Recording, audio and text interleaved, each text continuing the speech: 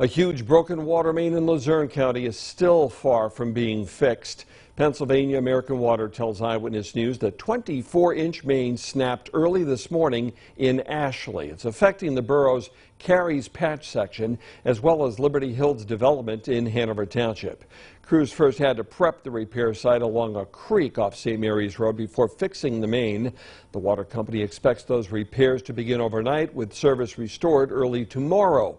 Meanwhile, water tankers are available at Ashley's Fireman's Park and the entrance to Liberty Hills development. Affected customers need to bring their own containers.